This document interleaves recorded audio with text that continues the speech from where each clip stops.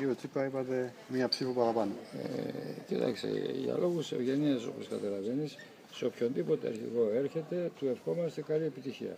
Λοιπόν, στον ε, ε πρόεδρο Μημαράκη, αυτό μπορώ να το ευχηθώ γιατί έκανα μικρό κόμμα.